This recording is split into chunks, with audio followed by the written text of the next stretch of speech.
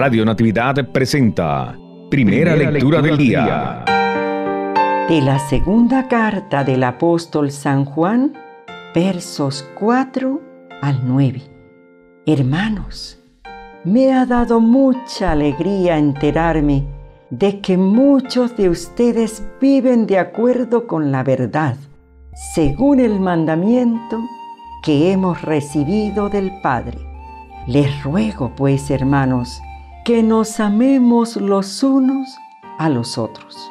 No se trata de un mandamiento nuevo, sino del mismo que tenemos desde el principio.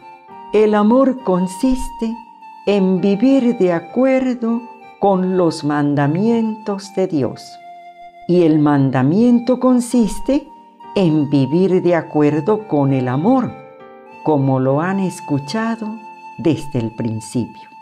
Ahora han surgido en el mundo muchos que tratan de engañar, pues niegan que Jesucristo es verdadero hombre. Estos son el verdadero impostor y anticristo. Pongan pues atención para que no pierdan el fruto de sus trabajos y puedan recibir la recompensa completa.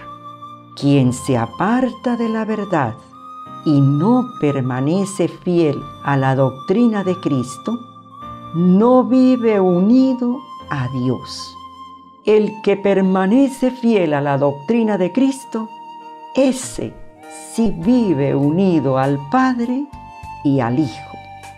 Palabra de Dios, te alabamos Señor.